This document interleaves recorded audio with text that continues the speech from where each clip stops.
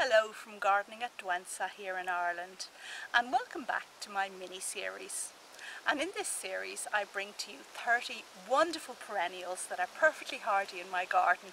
I talk all about them and hopefully entice you to try them out wherever you're situated. Now today we're going to talk about Ligularia or the leopard plant and some particular favourites of mine.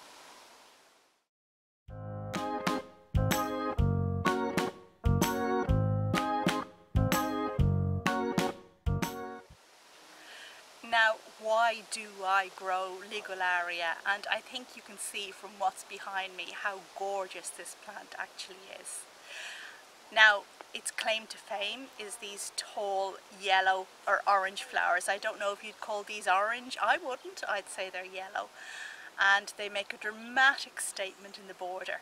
They have brown centres as well, which is very good for matching with the dark foliage that these plants very often have.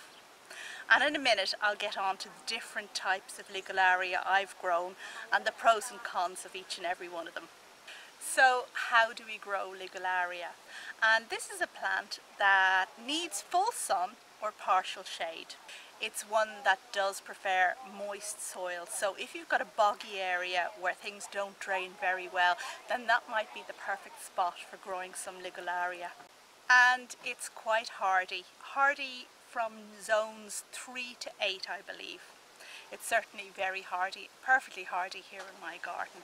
Now you do need a sheltered spot for it as well but a very very rewarding plant. It's a herbaceous plant, it dies down in autumn.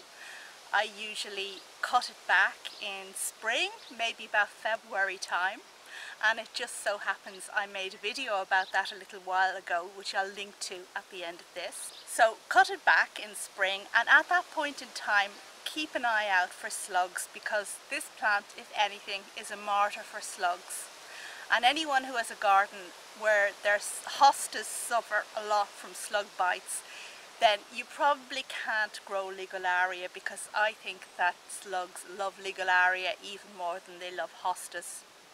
But the main thing is to protect them round about February time, usually with some kind of barrier method, because if you protect the plants at that point in time, once they get a little bit taller, around about March, about so high, then the slugs don't bother with them anymore. And really, you're good for the rest of the summer. But of course, if the slugs munch the leaves too badly, once the plant has gotten going and you're past spring, what you can always do is just remove any damaged leaves in the same way you might with the hosta. Now the Ligularia leaves, you can't really just pull them off because if you do, then you, well, very often end up with a kind of stringy stem like that that isn't very attractive. So use a secateurs. So my three favourite Ligularia are number one, this one behind me, Britt Marie Crawford. And it's a wonderful Ligularia with large dark leaves and these tall flowers that make a statement later on in the season. It usually flowers kind of the end of July, beginning of August. Now, the great thing about this particular variety is that it tolerates drier soil than some of the others. So actually I have this plant growing in quite a dry position and it does really well for me. The only thing that is a drawback is that it does seed and the seedlings don't come true to the parent so the seedlings can end up with kind of greenish leaf so the best thing is to weed those out and then you know and then you can make sure that your dark leafed one has predominance in the border. The second Ligularia I want to talk about that I grow here at Douentza is a species one and it was named after a Polish gentleman I'm not going to try and pronounce it now but you'll see the name going up there on the screen and this is one that I really love because of the shape of its leaves. Now the leaves are green which is a bit of a drawback as far as I'm concerned but they're that unusual that it makes a nice addition to the border.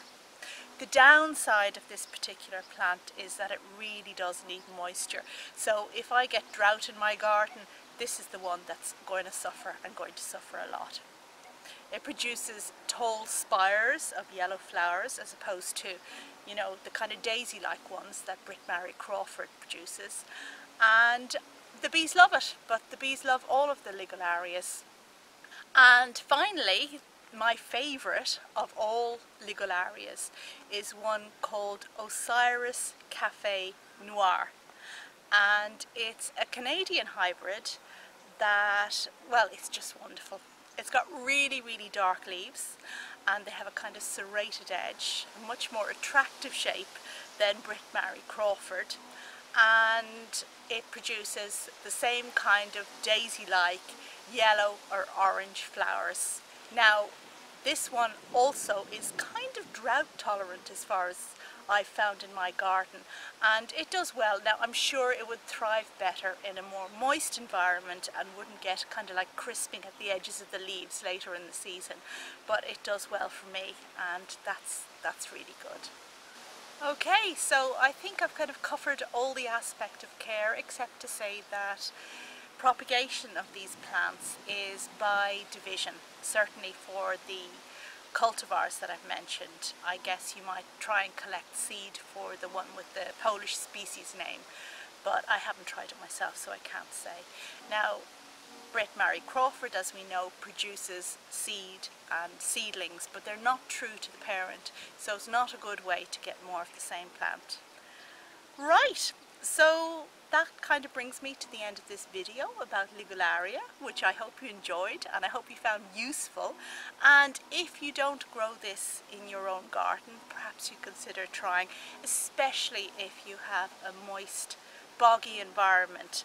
It's really going to thrive there.